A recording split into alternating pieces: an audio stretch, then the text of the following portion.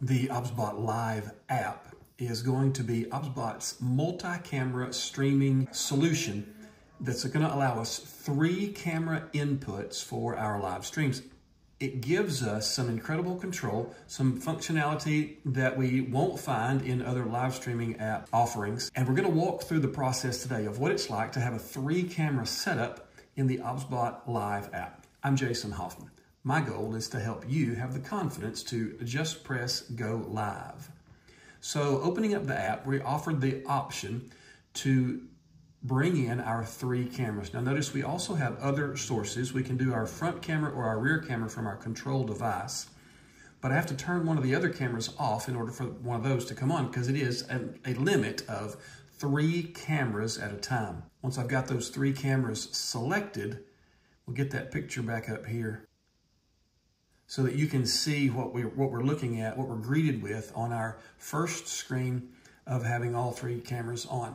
So I can look and adjust whatever I need to from each of the three cameras that I've got set up. One facing me, one facing the rain that is so beautifully falling outside, and one that gives me an overall shot from the side over there of kind of where I'm set up here in my office. Then in addition, we have the picture-in-picture -picture canvases that we have options of as well. So I can go over to the Canvas tab and look at my Canvas 1 and choose that to be any of these three preset canvas options. Now, this is a triple side by side, gives me the center cut from any of these three views, and that works really well. You can adjust the camera uh, to, to give you a different part of that however you need to for Canvas 1. Then I look at Canvas 2. That gives me my overall view for one of us, plus inset of the other two cameras.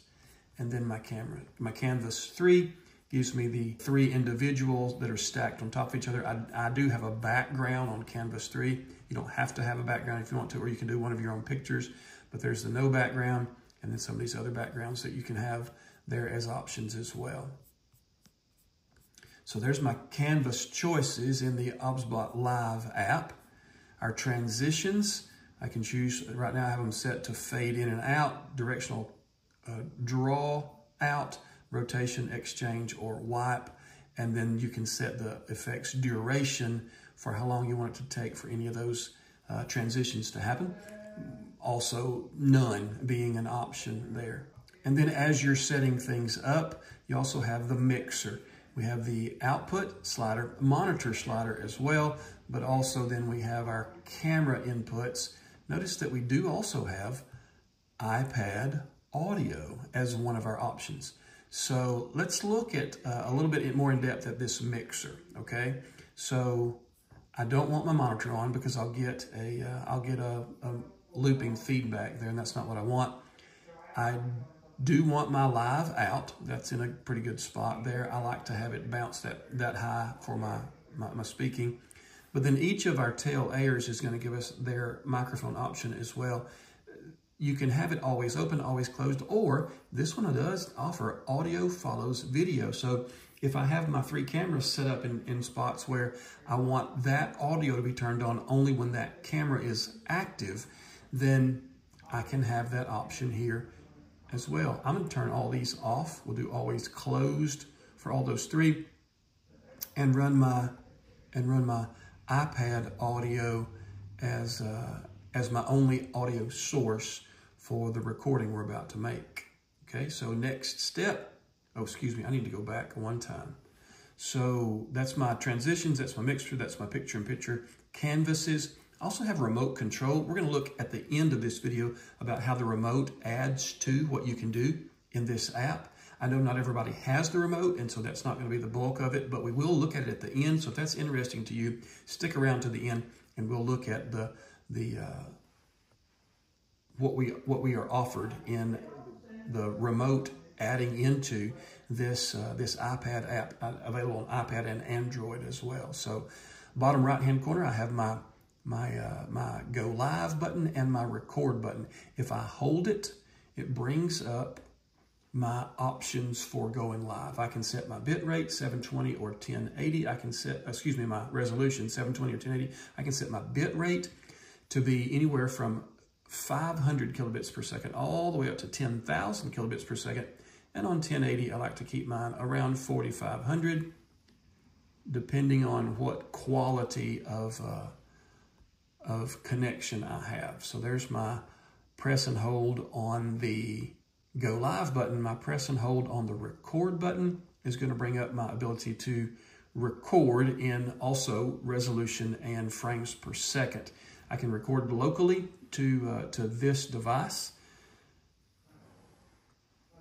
One of the things that I recognize about recording locally to a device is that is oftentimes running the app and recording to the internal storage will cause your app to glitch. It's just part of the way it is. And so it is my preference to go ahead and record to the SD cards, pull them if I'm going to be recording. If I'm using this to live stream, I seldom ever record in addition to live streaming, but that's again, just a personal preference. So let's go back into the recording options. I don't want it to record to the program. I do want it to record to each of my um, of my devices. Keep in mind that your recording to the local album is only going to get you a 1080 stream, a, a 1080 recording. I can do 40, uh, 4K, uh, 24 to 30 frames per second recording to each of the SD cards. I can drop it down to 1080 or 720 if I need to as well. So that's my recording options. Now, uh, in this particular uh, in this particular scenario, okay, I'm going to go ahead and start recording. And so the features that we get from the OBSBot Live app are going to be similar but not quite as full as the OBSBot Start app. Now, the OBSBot Start app is one where you have to connect to each camera individually. You can't be connected to more than one at a time, where you do have the full range of setting all of your options. Bottom left-hand corner of the OBSBot Start app is going to bring up all the different places that you can change uh, how your camera is operating. We don't get all those features in the OBSBot, in the OBSBot Live app. Uh, this one is designed to, to take you live and to have a lot of good feature sets, but not to be where you tweak each part of the camera itself. And so, although I have a camera wheel that does give me some great functionality about how to use the camera, it's not the setup that you have in the OBSBot Start app where you can turn NDI on or off, where you can turn UVC mode on or off, where you can set up your SRT connection, all the different pieces that you have in, uh, in the OBSBot Start app that are not in the OBSBot Live, just know that in order to have that granular detail, you're going to need to have the OBSBot Start app and, and go through each camera and set them up as you want. So uh, we'll get into the, the settings for each of these cameras as we look in just a moment, but let's talk about the, the screen we have in front of us first. So here are the individual shots that we have. There's that outside shot of a beautifully rainy day. Yes, I would love for that shot to be zoomed in a little bit. Let's go ahead and push that in so we can see what's happening outside. A little bit better. Of course, we didn't have that big poster on the door. I could see it a whole lot better, I guess, but that's okay. So there's the view from uh, looking outside, view here of me in the office, and then the wide view here in the office as well that shows us all three different cameras working at the same time. So now we've got that. I do have my canvases. So now I've got that outdoor. I've got me in the center, and I have that side view over there. Let's go back here and see if we can make that, let's see, see if we can make that focus on me just a little bit better. It's not real bright in here. That may be part of my issue, but that looks like it's pretty well in focus. However, this one does not look like it's quite as in focus, but maybe it's just my eyes, okay? Then that's another of the uh, of the shots where I'm looking outside, but I have the two insets of me there in the bottom, and then my canvas that has all three shots just scattered around the screen. Also on this front screen of what we have here, I have my recordings. I can go into, oh, I can't do it while I'm live streaming or while I'm, while I'm recording, but you have your library there uh, uh, on, on this little icon. And then we have some, uh, some filter beautification type, uh, type settings here in the, in the, I don't know what that is. It looks like a, a marker maybe that uh, I can change uh, to give myself a little bit different look. Um, these three actually change the shape of my face, which is a little bit unsettling. I'll just go ahead and be honest with you. Okay, so then, then the filter stuff, the beautification, I can whiten my teeth or smooth my skin or, or clear up some things. We can put makeup on. Uh, I'll just go ahead and show you. Um, I'm, I'm really not wanting my, uh, my lips to show up that dark, right? So uh, we're gonna go none on the old lipstick there. Uh, body shape, body type. If this was a full body shot of me, we could make things a little bit different. Um, we can make we can change the look of my head. Uh, I, I, do have a rather large gourd, and so if I don't like that and I want it a little smaller, I guess I could do that too. That is wild. Okay, uh, great stuff. So we're to turn that back off, and then just your natural filters uh, to to have the shot that you want for uh, for the lighting that you have in the room where you are. So anyway, all right. So that's the that's the those. And then, of course, we have that audio um, mixture that I kept tapping on just to double check my audio here. All right, so that's that's front screen. That's what we get here when we're looking at, uh, at the OBSBot Live app. Now let's get into each of these shots. So uh, the control of the camera comes from tapping on the wheel icon, the settings icon in each camera's icon, each camera's shot. So now I have, again, um, all kinds of good control for the camera as far as what it's doing. So here's my uh, auto or manual control here of ISO, shutter, exposure, uh, focus, all those kinds of things. And I have all these cameras set right now on auto, also uh, uh, here auto as well. My style is standard. My white balance is white balance is auto as well. And I uh, usually go ahead and lock my auto exposure if I know my light is not going to be changing.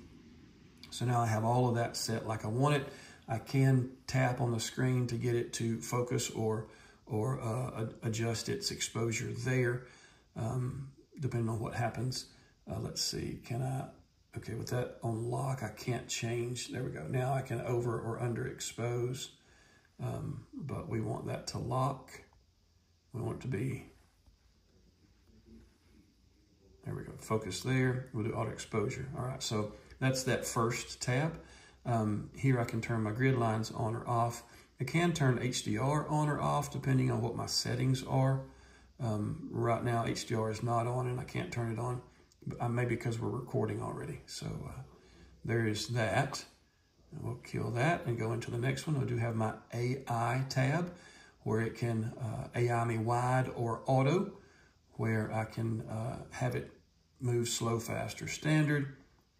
Um, tracking, uh, we can we can let it track me.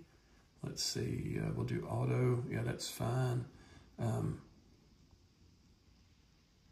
and we can, oh yeah, we can target it. So let's box select the target for tracking there. Now you see that it is tracking me a little bit. Uh, there we go. All right, so let's kill that. Get back out of AI. There we go. Double tap on the screen turns that uh, box tracking off. And now we can move over to our gimbal control that I have here on the screen. Um, you can tap and hold and move the gimbal if you want. Works really well, gives you a dot with which to, uh, anyway. Uh, so let's go back over to our gimbal. Let's frame this shot up a little bit better. We'll zoom in. Yep, looks pretty good. Okay, so uh, my gimbal control, um, make it move slower or faster, uh, and, and uh, be able to have uh, really good fine control, a 350 degree uh, panning uh, with these devices, and then the three times digital zoom gives a, a, really good ability to set up a shot from wherever you are. So make sure that's focused on my face.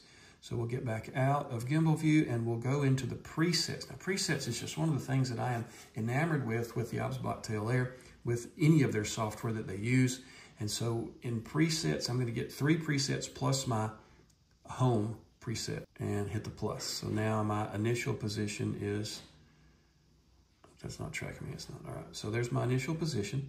Preset one, is zoomed in and up a little bit. Looks like I've got these presets set from something else. Preset two is zoomed in more. Move over there. Preset three is going to swing it around and catch the corner over there. Right, then go back to my home position and it brings it back here. So technically that's four presets that I get from being in the uh, in the OBSBot Live app. Okay, so we'll kill the preset. Oh, hang on, I too far. Uh, let's go back into that one. Yep. Oh, okay, so presets is on the front of this one, so you, you just get that. So those presets can be any zoom level, any focus level, any pan tilt level that you can you can use in the app. And so running a live stream, running a, a set of recordings for a three camera setup in the OBSBot Live app becomes both well featured and easy to do. This is a, this is really a good app that they've given us. Um, we're going to have some great quality audio running the uh, running the microphone here into my iPad, using the iPad as my audio input. Uh, I'll be able to report um, once I start editing whether I need to do any um, adjustment between camera and audio to see if it does in fact sync up the way it's supposed to. My and my my my first uh, anticipation is that it is going to do exactly what we want it to, and so uh, I, look forward to getting these shots um, into a into a, a, recording to to highlight the OBSBot Live app as a great option for recording, live streaming your mobile live streaming setup. So we said we are going to come back and look at what the remote option offers us at the end of this video. So let's go ahead and and uh, and click on the uh, remote control tab here. I turn the remote on, which is sliding this little button down on the side of the remote, so it gives me a couple of blue blinks. And now I will hit connect. Connect to that button. Yep, it found me, so we'll to that remote, so it will connect it. Now it shows me that I have my LEDs on the on my buttons lit up. I will go ahead and tell you that my number one LED is burnt out, so or is something's happened to it, and it doesn't ever show up. So we'll just be paying attention to these two.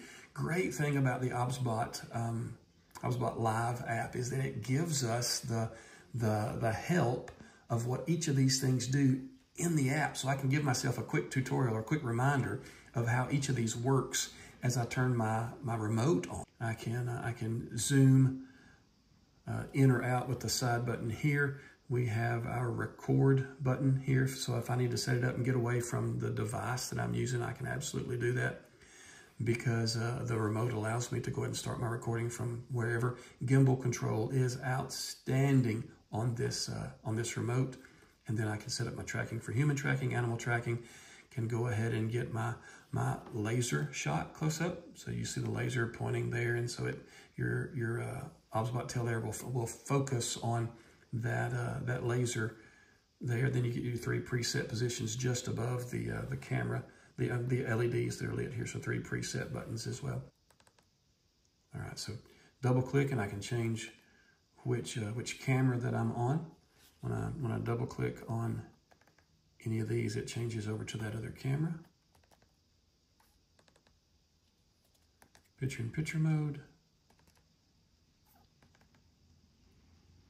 Gives me my different canvases as well. Get back out of picture-in-picture mode, just go over to the camera. If I want to select camera 3 and change what it's actually doing without it being on, uh, on, on the screen, I can do that so that when I go back to camera 3, it's a different shot than what it was the last time I left it excellent addition to your uh, to your live stream. This little remote, if you haven't picked one of those up to go with your OBSBot uh, tail air set of cameras, it's absolutely worth the extra to uh, to get that kind of functionality. A great addition in the OBSBot Live app. I think it would be a great addition to your live stream.